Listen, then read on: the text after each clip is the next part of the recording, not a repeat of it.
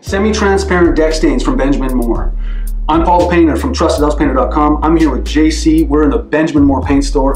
JC, I've got a client coming up, a project. They just built a brand new cedar deck. This cedar deck looks beautiful. They spent a lot of money on it and they want to preserve the wood look that a lot of people like. What stain products does Benjamin Moore carry? What would you recommend for the best application of this deck? My top recommendation, Paul, is one of our oil-based, semi-transparent or translucent stains, like this one right here, the Arborcoat Translucent. Okay, is this a one coat, two coat? What, what kind of application process is this?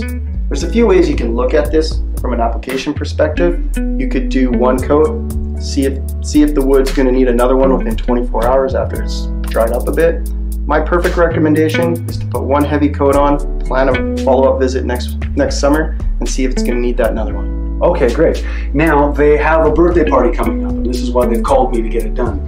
How long do you think they should wait before they start walking and bringing the barbecue and the patio furniture on before, you know, after I've coated? How long should they wait? Uh, depending on the weather, uh, weather dependent, I would say at least 24 hours.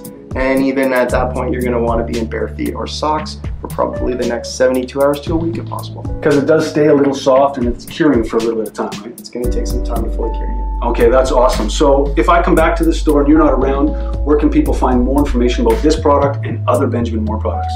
Well, our, our store staff uh, and any Benjamin Moore store are very educated, uh, or you can just go to benjaminmoore.com.